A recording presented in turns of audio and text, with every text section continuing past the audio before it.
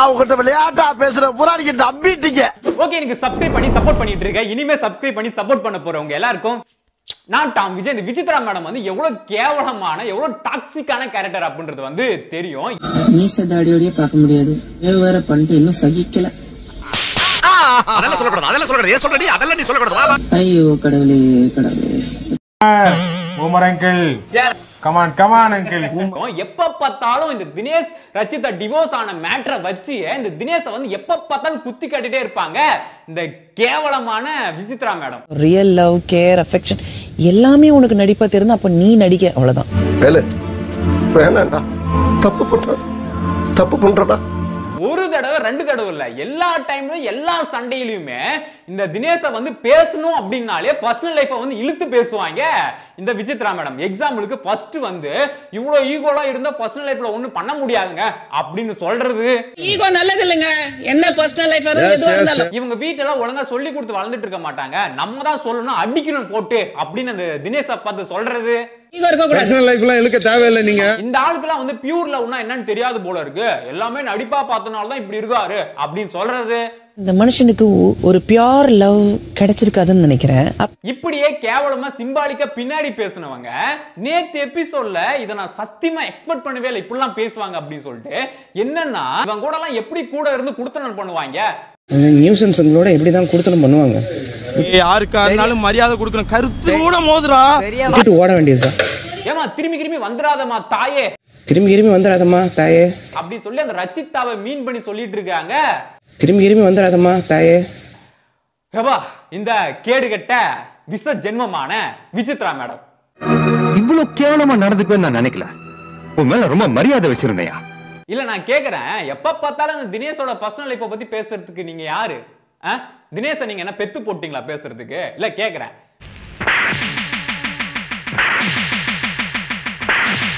தினேஷும் வந்து பேசுறாப்ல இல்ல பேசலன்னு நான் சொல்லல என்ன பேசுறாரு அப்படின்னா இந்த வீட்டுக்குள்ள நடக்கிறத வச்சு அவங்க என்ன பண்றாங்களோ இந்த கேம்ல என்ன பண்றாங்களோ அதை சுட்டி காட்டியோ இல்ல பின்னாடியோ முன்னாடியோ அவங்க அவர் எப்படியோ பேசிட்டு போறாரு அவங்க பெரியவங்க மாதிரி நடந்துக்கல இந்த ஆ? அதுக்கு நீங்க பர்சனலா அட்டாக் பண்ணுவீங்களா ஆ? Boomer uncle. Yes come on, uncle. Dinesh என்ன சொல்றாரு இவங்க நடிக்கிறாங்க கேமராக்காக வந்து அழுறாங்க அப்படின்னு சொல்லிட்டு அவங்கள பத்தி தான் வந்து பேசியிருப்பாரு கேமரா முன்னாடி நான் அழுத எப்படி இருக்கும்னு எல்லாரும் பார்க்கணும். ஆனா இவங்க எதை பேசினா அந்த தினேஷ் வந்து ப்ரோவோக் ஆவாரு அப்படின்றத வந்து மனசுல வச்சுக்கிட்டு அவருக்கு டிவோர்ஸ் ஆன மேட்டரை வச்சு குத்துறாங்க. அவங்களோட எப்படி வந்து கூட குத்தனம் பண்ணுவாங்க? Boomer uncle. திரும்பி திரும்பி வந்துடாதம்மா தாயே. இதெல்லாம் என்னத்த சொல்றது ஆ? இதுக்கெல்லாம் பேர் என்ன தெரியுமா? எச்ச. இந்த வயசுக்கு பண்ற வேலையா இதெல்லாம் சத்தியமா நீங்க எல்லாம் வந்து டைட்டில் வின்னருக்கெல்லாம் ஆசைப்படவே கூடாது. ஆசைப்படவே கூடாது. இந்த மாதிரிலாம் இருந்துட்டு. குடிப்பேடா. நீ கேட்ட ஒவ்வொரு கேள்வி என்ன செருப்பால் அடிச்ச மாதிரி இருக்குடா. ரைட் இந்த பிரச்சனை வந்து எப்படி ஸ்டார்ட் ஆச்சு அப்படின்னா இந்த ரவினா இந்த கிச்சன்ல வந்து சாப்பாடு செய்யலாம் அப்படின்ற மாதிரி வந்து போகும்போது இந்த பாத்திரம் கழுவுறது யாரு அப்படின்ற மாதிரி வந்து முடிவு பண்ணிட்டு இருக்கும்போது vessel washing morning Vichitra ma'am பண்ணிட்டோம் இந்த விசித்ரா மேடம் வந்து வெசல் வாஷிங் வந்து பண்ணணும் அப்படின்னு சொல்லிட்டு இருக்கும்போது சொல்லிட்டு வந்துருவா? இந்த விசித்ரா மேடம் வெளியே அந்த மாயா கேங் கூட அப்படியே சேர்ந்து அரட்டை அடிச்சிட்டு இருக்காங்க. அனைத்தபடி அப்போ இந்த ரவினா போயிட்டு கூப்பிடுறாங்க. மேடம் இந்த மாதிரி வந்து வெசல் வாஷிங் நீங்க தான் வந்து பண்ணணும் வாங்க அப்படி சொல்லி கூப்பிடும்போது "ஆஹ், எல்லா வேலையும் நான் தான் பாக்குறேன். என்ன எதுக்கு அடிக்கடி வந்து கூப்பிடுறீங்க? மயிலும் பண்ணணும். கட்டிங் நாங்க பண்றேன். ஸ்டேஷன் பண்றேன். இது ஆக்ஷன் மேடம்.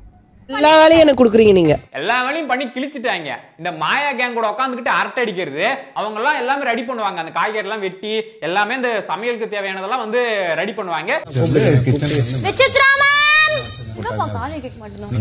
இவங்க ஆடாம அசையாம வந்துட்டு அங்க நின்னு சமைச்சிட்டு வந்து போயிடுவாங்க. வந்து பண்ணிருங்க அதான் ஃப்ரீயா இல்ல. குக்கிங் நான் தானே பண்ண போறேன்? இதுல வந்து சொல்றாங்க எல்லா வேலையும் நான் செய்யறேன் அப்படின்னு சொல்லிட்டு. எல்லா வேலையும் நான் செய்யறேன்றேன் நான். நான் நோய் என்ன நீ பைத்தியக்காரனவே நினைச்சிருக்கிறல்ல நீ? இந்த ரவினா பார்த்து எல்லா வேலையும் செய்யறேன் நான் சமையலும் செய்யறேன் ஏன் நீ செய்ய சமையல். இப்ப சமையல் ஃபுல்லா நீங்க பாருங்க இன்னைக்கு. சரி ஓகே. நான் வந்து பாத்திரம் கழுவுறேன் அப்படின்னு மாதிரி வந்து சொல்றாங்க. பாத்திரம் மட்டும் வாஷ் பண்றேன் நான். ம் சரி. சரி வாங்க நான் சமைக்கிறேன். நீங்க வந்து பாத்திரம் கழுவுங்க அப்படின்னு மாதிரி வந்து ரவினா சொல்ல. டிங்க் வந்து ஹெல்ப் பண்ணுங்க. இங்க உள்ள கிச்சனுக்குள்ள வந்துட்டு ஏன் நீயே விளக்கூடாதா நீயே பண்ணக்கூடாதா? என்ன எதுக்கு கூப்பிடுற? பண்ணி நீ பண்ணக்கூடாதா? இதுக்காக அங்கேயிருந்து என்ன கூப்பிடுற? இப்படி எல்லாம் பேசின உடனே அந்த ரவினா வந்து அந்த பெரிய பாத்திரம் ஒண்ணு விளக்குங்க. அதை வச்சு தான் கிச்சடி பண்ண முடியும் அப்படின்ற மாதிரி வந்து சொல்லும் போது இந்த பெரிய பாத்திரம் மட்டும் பிரேக்ஃபாஸ்ட்க்கு வேணா அது மட்டும் ஃபர்ஸ்ட் இதுக்கா என்ன கூப்பிட்ட? ஆ? இதுக்கெல்லாம் எதுக்கு என்ன கூப்பிடுற? அப்படின்ற மாதிரிலாம் பேசிட்டு இருக்காங்க. அதுக்கே நான் அங்கேயிருந்து கூப்பிடுற? வெசல் பூமர் அங்கிள் எல்லாம் நீங்க பண்றதெல்லாம் வந்து கிட்டிஸா இருக்கு. எல்லாம் ரொம்ப கிட்டிஷா இருக்கு நீங்க பண்றதெல்லாம். ஒரு பாத்திரம் கழுவுவா என்ன கூப்பிட்டீங்க? சில்லறத்தனமா இருக்கு. கூட சின்னத்தனமா இருக்குதெல்லாம். இந்த ரபினா வந்து மேடம் கரண்டி அது இதுன்னு எல்லாம் வேணும் மேடம். நீங்க தான் வந்து பண்ணணும். நீங்க பண்றேன்னு சொன்னீங்கல்ல. கரண்டி வேணும். இப்ப நான் பண்ணி கொடுக்கணும். அப்பதான் நீ செய்வ. கட்டு கட்டு மெட்டு மெட்டு அஹ், வெசல் வாஷிங்னா பண்ணணும் மேடம். அப்புறமா வந்து சொல்லும் போது கேக்குறேன் வெசல் வாஷிங்ல பண்ணி கொடுங்க அப்படின்னு கேக்குறேன். திரும்ப திரும்ப என்ன எதுக்கு கூப்பிட்டீங்க கூப்பிட்டீங்க அப்புறமெல்லாம் வந்து பேசிட்டு இருக்காங்க. வாஷ் பண்றது ஒரு பெரிய மேட்டரே கிடையாது. புடிங்கிருப்ப. போட. நான் அங்க இருந்து கூப்பிடணுமாங்கிறேன் நானு. மேடம் வெளியே போயிடுங்க. கஷ்டமா இருந்தா வீட்டை விட்டு வெளியே போயிடுங்க. அதவே இல்ல. யாரும் கண்டுக்காதீங்க உன அதாவது ஒரு டீமா சேர்ந்து வேலை செய்யும் போது இது எது நீங்க பண்ணணும் இது எது நீங்க பண்ணணும் அப்படி சொல்லி பிரிச்சு தான் வேலையை பண்ணுவாங்க. இப்போ நீங்க வெசல் வாஷிங் பண்றீங்க அப்படின்னா நீங்க தான் பண்ணணும் அதை. ஒண்ணும் தெரியாது மண்ணு. ஃபர்ஸ்ட் இந்த ரபினா வந்து அந்த பெரிய பாத்திரத்தை விலங்க அந்த கரண்டி கரண்டி எல்லாம் விளக்கிட்டு அப்புறம் இருக்கிற அந்த பாத்திரத்தை எல்லாம் விளக்கிட்டு போயிடுங்க அப்படின்ற மாதிரிலாம் வந்து சொல்றாங்க. சரி ஓகே எதுவும் நான் பண்ணி கொடுத்துருக்கேன் இருந்தாலும் வந்து ஒரு பாத்திரம் விளக்கத்துக்கு என்ன கூப்பிட்டீங்க அப்படின்ற மாதிரிலாம் வந்து பேசிட்டு இருக்காங்க. கரண்டியும் நான் அங்க இருந்து கூப்பிடணுமாங்கிறேன் நானு. இதெல்லாம் என்ன சொல்றது? Boomer uncle.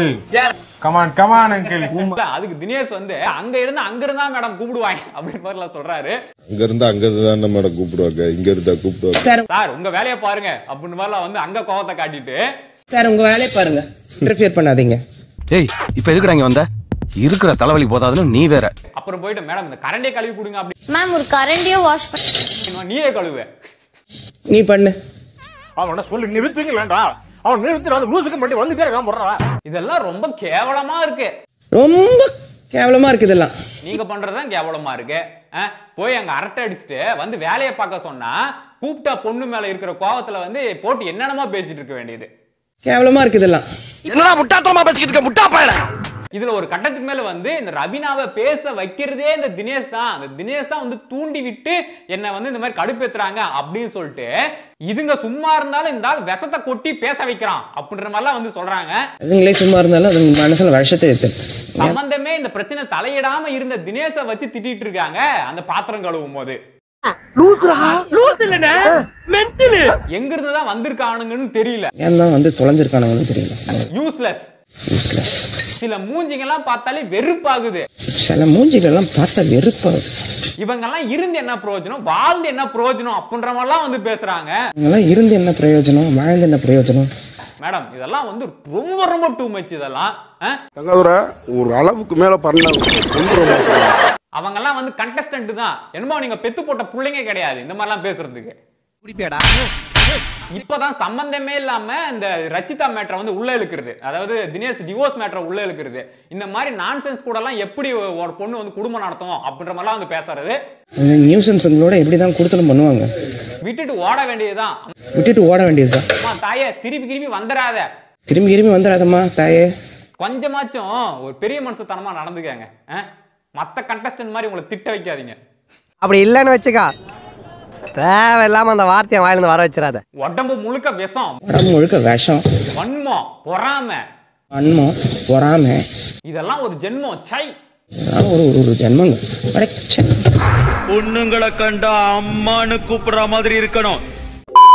இப்ப தினேஷை வந்து ஓவரா அளவுக்கு மீறி வந்து திட்டிட்டு அடுத்து ரவீனா பக்கம் வர்றது. எதுக்கு எடுத்தாலும் முடியல முடியலன்னு சொல்லுது. இதெல்லாம் எப்படி புள்ள பெத்து புள்ளைய வளர்க்க போகுது? இதுக்கே தெரியல இவங்க எப்படி புள்ள பெற்றுக்க போறாளுங்க? எப்படி வளர்க்க போறாளுங்க? எப்படி கல்யாணம் எப்படி மேரேஜ் பண்ண போகுது? கல்யாணம் பண்ணிக்க போறாங்க. ஏய் இப்ப எதுக்குடா சம்பந்தமே இல்லாம கேள்வி கேட்டுட்டு இருக்க? மத்த விஷயம் எல்லாம் எப்படி பண்ண போகுது? எப்படி மத்த விஷயம் எல்லாம் எப்படி பண்ண போகுது? மற்ற விஷயங்கள்லாம் எப்படி பண்ண போறாங்கன்னு எனக்கு தெரியுது. சை இதெல்லாம் ரொம்ப ரொம்ப கேவலமான விஷயம். எவ்வளவு பெரிய கேவலம் தெரியுமா? அதான் சொல்றேன். இந்த ரபினால நீங்க பெத்து போட்ட பொண்ணு கிடையாது. ஓவரா பேசிட்டு போறதுக்கு. கண்டஸ்டன்ட் அவங்க விருப்பம் இல்லாம இந்த மாதிரிலாம் நீங்க பேசவே கூடாது. ஒரு கேடு கேட்ட கேரக்டர் ஊடு கட்டி அடிக்கலாம் வாங்கடா. அப்புறம் சொல்றாங்க. இதெல்லாம் ஒரு வேலையே கிடையாது. இதுக்கு எதுக்கு நீங்க இவ்வளவு கஷ்டப்படுறீங்க? கிடையாது. டென் மினிட்ஸ்ல பண்ணி முடிப்பேன். அப்புறம் ஏன் மேடம் இவ்வளவு கத்து கத்துறீங்க? வந்துட்டு பண்ணிட்டு போக வேண்டியதானே அப்புறம் என்ன? நீங்க வந்த இந்த ஒரு பாத்திரம் கழுவுறதுக்கே அப்படி ஓராயிரம் வார்த்தை பேசுறீங்க அங்க. கூப்பிட்டாங்க கூப்பிட்டாங்க அப்படின்னு சொல்லிட்டு. கழுவ வேண்டியதானே பேசுறீங்கல்ல? பூமர் அங்கிள் கடைசியில அந்த தினேஷ உள்ள இழுத்து அதான் இருக்காருல்ல உங்க சாரு? அதான் இருக்காருல்ல சாரு. அவர் அவர்கிட்ட கேளுங்க அப்படின்னு சொல்லிட்டு இவர்கிட்ட சொல்ல வேண்டியது வன்மத்தை கொட்டிட்டு போறாங்க இந்த விசித்ரா மேடம். நம்ம தினேஷ் வந்து நான் அந்த பிரச்சனை சம்பந்தமே இல்ல. என்ன எதுக்கு இழுக்கிறீங்க உள்ள? என்ன எதுக்கு உள்ள இருக்கிறீங்க இவ்வளவு நேரம் நீங்க பேசிட்டு இருந்ததெல்லாம் வந்து காது கொடுத்து கேட்டுட்டு இருக்கேன். நீங்க இவ்வளவு நேரம் புலம்பிட்டு இருந்தீங்க. நான் காது கொடுத்து கேட்டுட்டு இருந்தேன். பதிலுக்கு திருப்பி பேசிட்டு இருந்தேன்னா வேற மாதிரி ஆயிருக்கும் அப்படின்னு சொன்னாப்ல. பதிலுக்கு பேசியிருந்தேன்னா வேற மாதிரி ஆயிருக்கும். தினேஷ் என்னதான் வந்து பின்னாடி பேசியிருந்தாலும் பர்சனலா வந்து அட்டாக் பண்ணது இல்ல இந்த மாதிரி கேவலமா விசித்ரா மேடம் மாதிரி. பூமர் அங்கிள் இப்போ இந்த விசித்ரா மேடம் வந்து இந்த தினேஷ் வேணும்னே இந்த கீ கொடுத்து இந்த பேச வைக்கிறாங்க இந்த ரவினாவை அப்படின்னு மாதிரிலாம் வந்து சொல்லிட்டு இருக்காங்க. அப்புறம் வேணும்னே கீ கொடுக்குற வேலை தினேஷ்க்கு அங்க. அதுக்கு இந்த தினேஷ் வந்து இந்த வீட்டுக்குள்ள கக்கூஸ் அடிச்சாலும் தினேஷ் தான். கக்கூஸ் அடைச்சுக்கிச்சுன்னா தினேஷ். இந்த வீட்டுக்குள்ள ஜிங்க் அடிச்சாலும் தினேஷ் தான். சிங்க் அடைச்சுக்கிச்சுன்னா தினேஷ். இவங்க திட்டுறதுனால நான் என்ன கெட்டவன் ஆயிடுவானா? விடுங்க. திட்டுறனால நான் கெட்டவன் ஆயிரப்படுறேன்னா விடுங்க. இந்த மாதிரிலாம் வந்து சொல்லிட்டு மூவ் ஆன் ஆயிட்டாப்ல மனசார சொல்றேன்டா சத்தியமா நீ எல்லாம் உருப்பட மாட்ட உருப்படவே மாட்ட இப்ப மணி கூப்பிட்டு கேக்குறாப்ல அதுக்கு இதுக்கு என்ன சம்பந்தம் எதுக்கு நீங்க மேரேஜ் வரைக்கும் இழுக்குறீங்க? சரி மம்மி இதுக்கும் அதுக்கும் என்ன இருக்கு கல்யாணம் இதுக்கெல்லாம் போய் கல்யாணம் போய் என்ன பண்ண போறாங்க அப்படி இதெல்லாம் கரெக்டா அப்படின்னு மாதிரிலாம் வந்து கேட்ட உடனே மம்மி இதெல்லாம் விடுங்க நீங்க அங்க நின்னு பேசினதெல்லாம் கரெக்டா நிஜமாதான் அப்படி மலிப்பு கிளிப்பு எதோ வந்து பேசிட்டு இருக்காங்க இல்ல இல்ல அந்த ரவினா வந்து அங்க கூப்பிடுச்சு இதெல்லாம் அப்படி இப்படி ஏதோ பேசிட்டு இருக்காங்க மேம் எங்களுக்கு புரிஞ்சு பண்ணணும் உருட்டு உருட்டுன்னு உருட்டி பார்த்தாச்சு ஜாலியாலாம் வந்து பல வருஷ காலத்துக்கு நம்ம பண்ண முடியாது. இப்போ வந்து அப்படி மழுப்புற விதமா ஆமா மேரேஜ் எல்லாம் பண்ணீங்கன்னா இதெல்லாம் கத்துக்கணும். இதெல்லாம் வந்து ஒரு மேட்டர் தான். அப்படின்ற மாதிரிலாம் வந்து சொல்லி அப்படியே மழுப்பிட்டாங்க. மேரேஜ் பண்ணும் குடுத்தனம் பண்ணா இதெல்லாம் வந்து ஒரு மேட்ரு உங்களுக்கு எல்லாம் அங்கிள் அப்படி வந்து சரி விடு என் மேலதான் தப்பு அப்படி சொல்லி கட்டி பிடிக்க வராங்க. சாரி ஓகேவா நான் தான் தப்பா புரிஞ்சுக்கிட்டேன். அப்ப அந்த ரவீனாவோட ரியாக்ஷன் நீங்க பாக்கணுமே நீ தப்பா என்ன கேரக்டர் அதெல்லாம்? அப்படின்ற மாதிரிலாம் வந்து பார்த்துட்டு இருக்கும் போல இந்த ரவீனா. இவங்க எந்த அளவுக்கு ரூடா நடந்துக்கிறாங்க அப்படின்னா இந்த விஷ்ணு வந்து இந்த உருளைக்கிழங்கு உரிச்சிட்டு இருந்தாப்ல இந்த உருளைக்கிழங்கு உரிக்கிறதுக்கு எவ்வளவு நேரம்? உருளைக்கிழங்கு உரிக்கிறதுக்கு எக்ஸ்பீரியன்ஸ் தேவையில்ல. ரெண்டு வயசு குழந்தை கூட எனக்கு உரிச்சு கொடுத்துருக்கு. ரெண்டு வயசு குழந்தை கீழே உட்காந்து என்ன உரிச்சு கொடுத்துருக்கு. வந்து சொல்லிட்டு இருக்காங்க. அதுக்கு விஷ்ணு வந்து ஏங்க ரெண்டு வயசு குழந்தை ஒழுங்கா சாப்பிட கூட சாப்பிடாது. எப்படி உங்களுக்கு உருளைக்கிழங்கு உரிச்சு கொடுத்துருக்கோம் அப்படின்ற மாதிரி கேக்குறாப்ல ரெண்டு வயசு குழந்தை ஒழுங்கா சாப்பிடவே செய்யாது. உருளைக்கிழங்கு குறிக்குமா எல்லாம் கூ- எல்லாம் அந்த குழந்தைய வேணா கூப்பிட்டு வேலை வைங்க. எங்களை எதுக்கு கூப்பிடுறீங்க? குழந்தைய கூப்பிட்டு வாங்க இங்க. பண்ண சொல்லி. என்னையே கூப்பிட்டுறீங்க. நீ- இந்த விசித்ரா மேடம்க்கு நீ நீதாயா கரெக்ட் ஊர் விட்டுதா கரெக்ட் அப்புறம் இந்த புள்ளி கேங் கூட சேர்ந்து இந்த மணிக்கு ஒரு ஏதோ சிக்கன் கேக்க எடுக்க போயிருக்காப்ல நிறைய சிக்கன் பீசஸ் இருக்கு. சிக்கன் எடுக்கூடாது அப்படின்ற மாதிரி நீ ரெண்டு பீஸ் எத்தனை பேரு. திரும்பி பார்த்திருக்காங்க அந்த விசித்ரா மேடம். அப்படின்னாங்க. வந்து இந்த மாயா இந்த பூர்ணிமா நிக்சனுக்கு மட்டும் அந்த சிக்கனை வந்து அள்ளி கொடுத்துருக்காங்களாமா. பூர்ணிமா அப்படியே எத்தனை இருந்துச்சு இப்படி இருக்குதுடா சிக்கன் பீஸ் லைனா சீட்டை இதெல்லாம் என்ன? இதெல்லாம் எவ்வளவு பெரிய எச்சத்தான இதெல்லாம் பார்த்துட்டு மம்மியை பார்த்தேன் என்ன பார்த்து டக்கு டக்கு திரும்பி சப்பாத்தி அப்புறம் ஹோல்ட் தான் அப்படின்னு சொல்லிட்டு ஒரு டாஸ்க் ஒன்று கொண்டு வந்தாங்க ஃபினாலே டாஸ்க் ஹோல்ட் அத்தான் டிக்கெட் டு ஃபினாலே அப்படின்ற அந்த ஒரு பேனரை வந்து அப்படியே தாங்கி பிடிச்சிக்கிட்டே நிக்கணுமா? நான்கு நபர்கள் ஹோல்ட் செய்யணும். யார் இதுல வந்து கடைசி வரைக்கும் அப்படியே ஹோல்ட் பண்ணி நிக்கிறாங்களோ அவங்க வின்னு அவங்களுக்கு அஞ்சு பாயிண்ட் நாலு பாயிண்ட் மூணு பாயிண்ட் ரெண்டு பாயிண்ட் அப்படின்ற மாதிரி வந்து வரிசையா கொடுப்பாங்களாமா? பினாலே பாயிண்ட்ஸ் வழங்கப்படும். ஃபர்ஸ்ட் நிக்சன் கையை எடுக்க. இந்த போட்டியிலிருந்து வெளியேற்றப்படும் முதல் நபர் நிக்சன் அடுத்து விசித்ரா மேடம் வந்து கையை எடுக்க. கிவ் அப் பண்றீங்களா? எஸ் நிக்சன் என்ன சொல்லிட்டு இருந்தான்? நான் உசுர கொடுத்து விளையாடுவேன் உசுர கொடுத்து விளையாடுவேன்னு சொல்லிட்டு விசித்ரா மேடம்க்கு முன்னாடியே வந்து கையை எடுத்துட்டான். இதுதான் நீ உசுர கொடுத்து விளையாடுறதாடா. சரி, அப்புறம் இந்த பூர்ணிமா மாயா வந்து கையை விட மாயா இந்த போட்டியிலிருந்து வெளியே அதுக்கப்புறம் இந்த பக்கம் கேங் வந்து கடைசி வரைக்கும் ஹோல்ட் பண்ணி நின்று இருந்தாங்க அப்புறம் வந்து இந்த தினேஷ் என்னால் முடியல அப்படின்னு சொல்லிட்டு இந்த விஷ்ணு வந்து ஏ ரவினா ஜெயிக்கட்டும்பா அப்படின்னு சொல்லி அவரும் கையை எடுக்க அடுத்து இந்த மணியை வந்து சரி ரவினா ஜெயிச்சுட்டு போட்டோம் அப்படின்னு சொல்லிட்டு அந்த இதை விட்டுட்டாங்க. அப்புறம் ரவினா தான் வின் ஆயிட்டாங்க இந்த டாஸ்க்ல ஓகே கிவ் அப்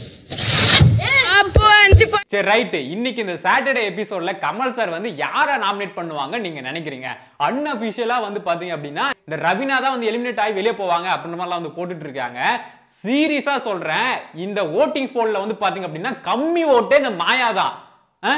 இதை தாண்டி அந்த ரவினாவை வந்து வெளியே அனுப்புனா எந்த லெவலுக்கு இந்த மாயாக்கு அந்த விஜய் டிவியும் அந்த கமல் சார் வந்து சப்போர்ட் பண்றாரு நீங்க பாருங்க. வெக்கம் கட்டுவீங்களா? இதுக்கு எதுக்குடா வெள்ளையங்கிலி மாலையன்னு சத்தியமா அதெல்லாம் வந்து ரொம்ப ரொம்ப அன்பேரு. என்னடா ஒரு மக்கள் ஆதரவே இல்லாத இந்த மாயா நிக்சன்லாம் உள்ள வச்சுக்கிட்டு மத்தால வெளியே அனுப்புறீங்க? புரியல எனக்கு.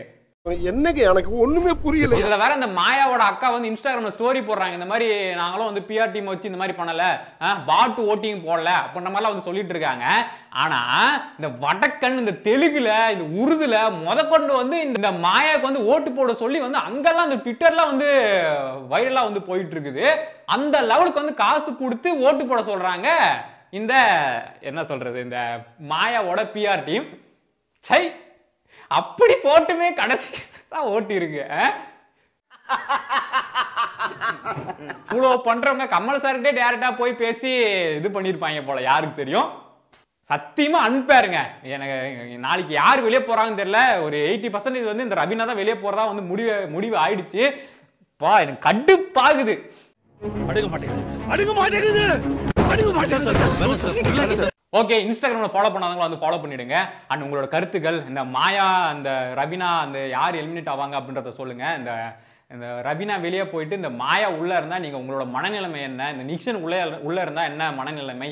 இதெல்லாம் வந்து சொல்லுங்கள் அண்டு அப்புறம் இன்னொன்று சொல்லி ஆகணும். இந்த டெய்லியும் வந்து உங்கள் எல்லா கடை எல்லா வீடியோலும் கடைசியில் சொல்கிறனால என்னை தப்பாக நினச்சிக்காதீங்க. ஏதோ நியூ இயர் வரப்போகுது. அதுக்குள்ளே ஃபோர் லேக் சப்ஸ்கிரைப் வந்தால் எனக்கு கொஞ்சம் சந்தோஷமாக இருக்கும். முடிஞ்ச அளவுக்கு ஷேர் பண்ணி சப்ஸ்கிரைப் பண்ணுங்கள் அவன் கொஞ்சம் நல்லாயிருக்கும். ஒரு நியூ இயர் கிஃப்ட்டாக நீங்கள் கொடுத்தீங்க அப்படின்னா ரொம்ப நல்லாயிருக்கும். வெறும் ஐநூறு சப்ஸ்கிரைபர் தான் ஒன்று வந்தால் நாளைக்குள்ளே வந்துச்சு அப்படின்னா நான் கொஞ்சம் சந்தோஷப்படுவேன். அண்டு சப்ஸ்கிரைபெல்லாம் பெரிய மேட்ரு கிடையாது. நீங்கள் எனக்கு சப்போர்ட் பண்ணுறீங்க அதே பெருசு தான். பட் ஒரு இன்னும் கொஞ்சம் எக்ஸ்ட்ரா பூஸ்டிங்காக இருக்கும்ல எனக்கு. அதுக்கு தான் சொல்கிறேன் அண்டு ஓகே உங்களோட விருப்பம் சப்ஸ்கிரைப் பண்ணுங்கள் அண்டு உங்களோட சப்போர்ட் வந்து அளவிட முடியாதுங்க. நீங்கள் இல்லைனா நான் இல்லை. லவ் யூ ஆல் இப்போ உங்களுக்கு வருத்தம் என்னன்னா அவங்க பொண்டாட்டி பிள்ளையாக இருக்காங்க. உங்களை விட்டுட்டாங்க. பொண்டாட்டி பிள்ளைங்க மச்சினிச்சு மாமியா கீமியா எல்லாம் ஒன்னா கூடிட்டாங்க. நான் ரோட்ல நிக்கிறேன் கோயம்பேட்டுல. பகல்ல ஈ தொல்லை நைட்ல கொசு தொல்லை. அம்மா